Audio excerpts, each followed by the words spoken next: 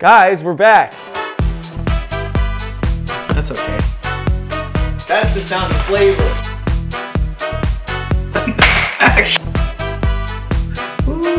All right, welcome to episode two. So we're making some beautiful short ribs. We're gonna braise them in a nice spicy broth with some dried chilies and then throw them in some tortillas and fry those up into some like taquito style things, flautas, whatever you wanna call them. This is the thing I made on TikTok last week. I know I said I was gonna make a lamb burger, but I lied and I'm sorry, I feel bad about it because you guys are my friends and you're really nice to me, but we're making something very special instead.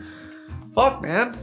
We're at my mom's house right now. That's where it all started. By the way, we don't have a name for the show yet, so if you guys want to toss out some ideas for what we should call this, uh, throw them in the comments, and the top comment will name the show permanently, even if it's something really naughty and mean. Don't hold me to that. Anyway, let's get started. Basically, they're like deep fried mini tacos, and they're fucking amazing. Start by seasoning your short ribs up, heavily salt and pepper on all sides.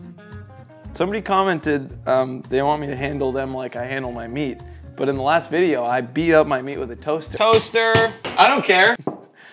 What's that all about? I used um, Salt Hank's flaky salt, available at salthank.com, and fresh cracked pepper. I'm excited you guys are here. This has always been my dream. I've always wanted to have a YouTube channel since I was like a 14 year old kid. And uh, for it to be centered around food was like just the ideal goal.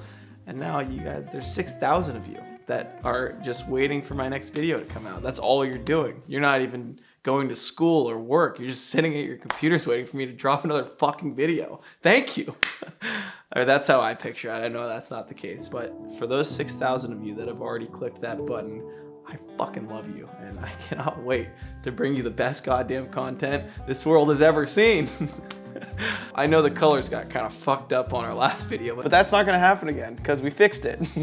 it's gonna be like a episode of, um, it's that shitty old show, the one where they live on like a grass hill and it's, um, they're like monsters. Teletubbies. All right, so these are ready to sear off in our Le Creuset. Now we gotta chop up some veggies. We got some vine ripe tomatoes. So we're using like three small to medium ones of these just beautiful. We're gonna dice our onion up, nice rough dice. Oh man, I'm so happy we're doing this. Guys, I fucking love you. And I'm just stoked to have the opportunity to cook with my friends from the internet. I wanna feed the world with these tacos, so bring them home, cook them for your family, for your friends, whoever, I don't care. So we're gonna slice up some garlic, yum yum. But then we're also just gonna use the whole bulb. So Chop up a couple of these, nice and thin. And then we're gonna chop the head off the bulb and throw that whole thing in. Add some nice flavor. Okay, let's get to searing off this meat, man. We got like three short ribs cut in half, so six short, short ribs, and they're going in the Dutch oven. And then you let those braise for like three hours. And during that time, me and my videographer Jimmy are gonna watch a movie. I watched Point Break last night, so I'm in a great mood today. We're gonna sear off these short ribs. So high, high heat, medium high heat. Get some neutral oil. I got avocado oil. Let that come up very, very hot. Very smoking, smoking hot. Short ribs go in. Into your oil. Oh, I love that noise. Flame on. I know people say don't crowd the pan, but we kind of gotta because we have a lot. This is a dream come true. I really couldn't be happier. It's because of you guys. It's right here. This is where you guys are for me. Right in my fucking heart. This is just a big big party going on in there with all of my 6,000 subscribers. And for all the people out there that are just joining, welcome. Welcome to the, welcome to the heart party. it's gonna be a fun one. And bring your swimsuits because we're going hot tubbing later. so let these sear for like three minutes per side. Get a, a hard, hard crust on them. These are probably ready to flip. Nope, not. It's my short rib dance. That's ready to go. Perfect brown crust and then you just flip it. Seared the shit out of those short ribs. And you want them that seared, you gotta lock in that flavor. Lock in all those juices, get as much color as you can on them until they start to really char. You can pull your meat now. All done. Get your heat down to like medium, medium low. And your onions are ready to go in. Deglaze with onions. Scrape all those black bits off the bottom brown piece of fond. Get your sliced garlic and put that in as well. We have like a whole white onion and like four or five cloves of garlic in here right now. So we got some chiles de arbol going in. Fill up your pot with tomatoes and onions and peppers. And those peppers are gonna start to toast and bring a ton of flavor to the party. And then once they rehydrate in the pan, everything kind of just falls apart. It's like a spicy consomme a little bit, so pretty similar actually. Our final thing is tomatoes. So yeah, just let all this cook together, get the flavors combined and incorporated, let them get to know each other. God, I can't get Point Break out of my head. But once the tomatoes are nice and squishy and just falling apart, so we got like eight cups of beef stock going in. And then short ribs go back in.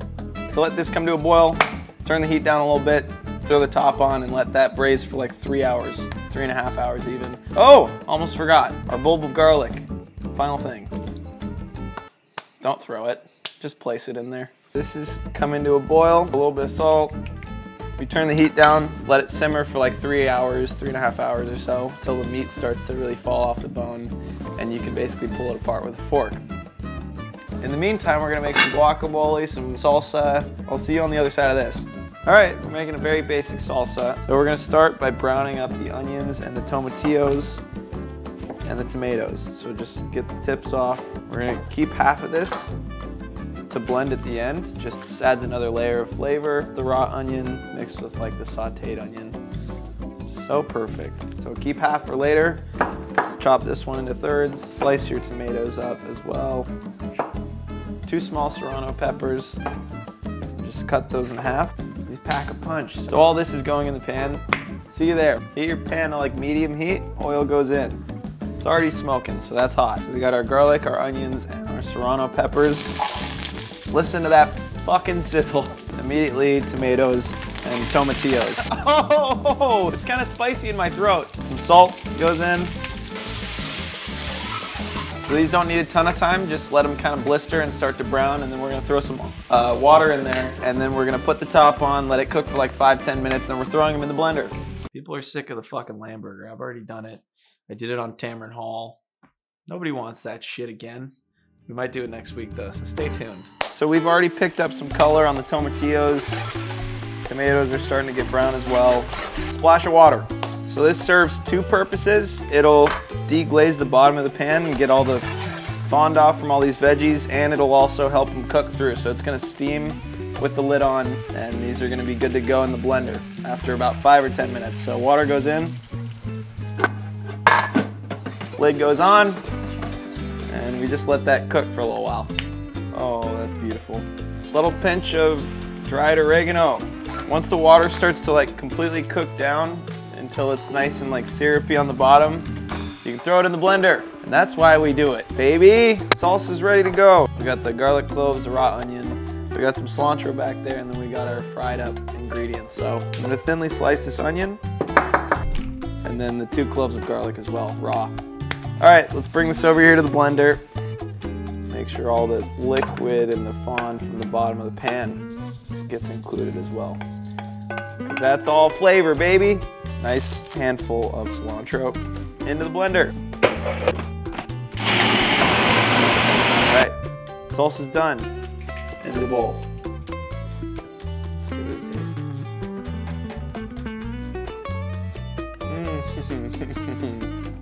That's the best salsa I've ever had. Okay, Moving on. The guacamole is not super traditional. It's four ingredients. It's garlic, it's lime, it's avocado, and it's salt. That's basically it, but god damn it, just try it. Three avocados, cut in half, crack them open, uh, get the pit out, slice your avocado into cubes, just like that, scoop it out. We're gonna add like four cloves of garlic. Just smash these a little bit of flaky salt on top of the garlic. Chop it up nice and fine and smash it on your cutting board till it's like a nice kind of ground up paste almost. That's ready to go into the guac. Lime wedge. Pick a nice squishy lime or else you're not gonna get a lot of juice out of it. There we go. Smash it up. Guacamole's done. It's been enough of this. It's time to make some short rib tacos. Short ribs are probably done. Oh, baby. Oh my God. That gives me the chills. Goosebumps. Am I right, guys? Pulleys. Can't even fucking find the bone for this one. Oh, buddy. Holy crap. I just want to be in a sauna of short rib steam. You know, my um, senior superlative in high school was most likely to smell like meat. Short ribs are shredded. Shh, don't tell mama, just a little spoonful. it's very hot. Okay, let's make tacos. So these don't break while you're rolling them up. Uh, about two inches of oil. Dip them in the hot oil just for like literally a second. Pull them out. Don't let them fry for too long and they'll be nice and malleable. We got our nice flaccid taco shells. We got our filling. You can fill to your heart's desire because the taco shells won't break. We got some Mexican cheese blend right here. Stuff that in there. Party pack, multicolored toothpicks, adorable. Why get one color when you can get multi? Just stab it through. Boom. There's your taco. That's ready to fry. There it is.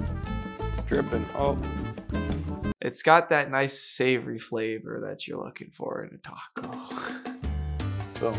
Taco number six. These are ready to fucking go. So we're gonna fry these up, get the oil ripping hot. Um, they're only gonna fry for like three minutes. You just wanna get the outside browned. We have a whole plate of ready to fry tacos here. Look at these beautiful fucking tacos. I could eat these raw. I mean, this is fucking amazing. I'm so excited. Here we go. You hear that?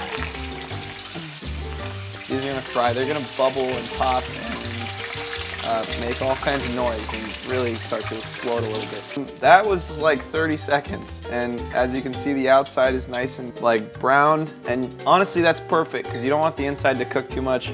All the cheese will melt and fall out and you don't want that. All right, these are done. Whoa! Oh, shit! They're sizzling. Ooh-wee.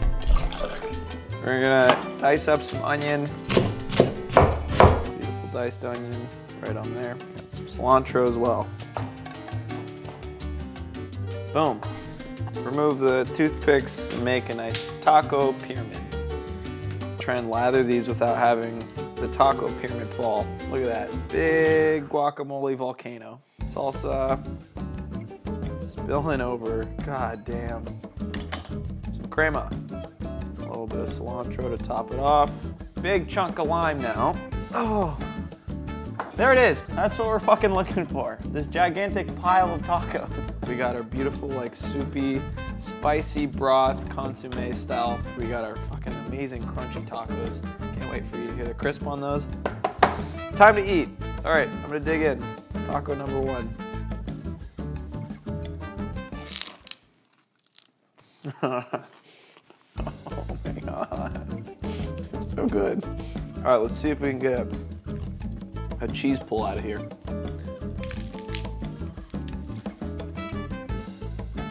Oh, little one. I know it wasn't Lamburger, but these came out very nice, and I encourage you to make them at home. Gosh darn it, they are good. Stay tuned, because every Wednesday we're gonna drop another one of these recipes. We're gonna keep building, keep getting better.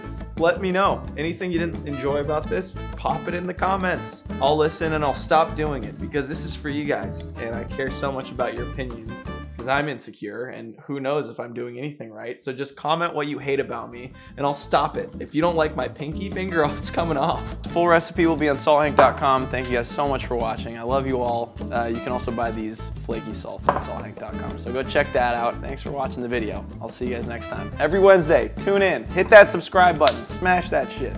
Uh, let's go.